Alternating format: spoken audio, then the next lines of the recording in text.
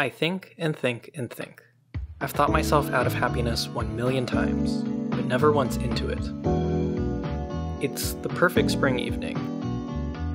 The sun is glowing like a heat lamp, warming the souls of everything in the park, except me and the dead.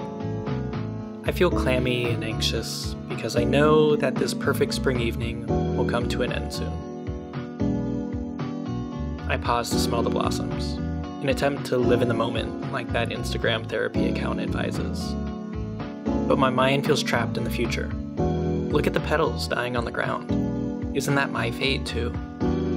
The pigeons seem to giggle at me. I'm being too dramatic, I know. There's beauty in everything, I remind myself. The perfect spring evening is ending, the sun slipping, playing peekaboo through the trees. You see, the sun says.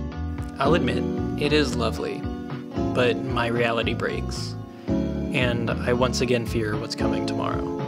What if things don't work out? I question. What if they do? The sun retorts. And I realize I think and think and think.